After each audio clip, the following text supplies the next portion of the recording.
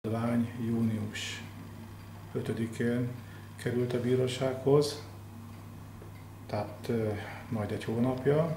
Többek között azt állítja, hogy a küldőgyűlés vétett akkor, mikor nem két fordulóban választotta meg az elnököt, illetve az alelnököket, amely feltételt a leírata szerint a május 7-én életbe léptetett alapszabály tartalmazta. Most az a helyzet, hogy ez nem így van, hiszen a korábbi alapszabályban is ugyanígy szerepelt.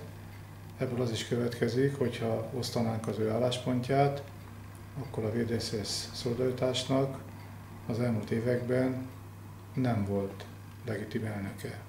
Kár terhelni a szakszeretünket ezzel a problémával is, főleg akkor, amikor a meg nem választott volt elnök arról biztosította a küldőgyűlést, hogy semmi más vágya nincs, csak hogy támogassa a szakszervezetünket, hogy minél eredményesebben végezhesse a munkáját. Hát így sikerül a támogatás. Nem szívesen mondom, de nem igazán hallgathatok róla.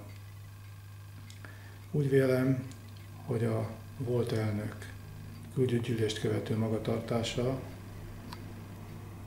nem engedhet mást állítsak, mint azt, hogy egész egyszerűen méltatlanná vált arra, hogy a további jogomi közösségünknek tagja legyen.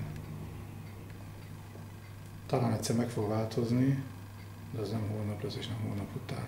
Pár még a küldőgyűlésig. Nincs kétségem a felől, hogy a küldöttek ismerve a jelölteket bölcs fognak hozni.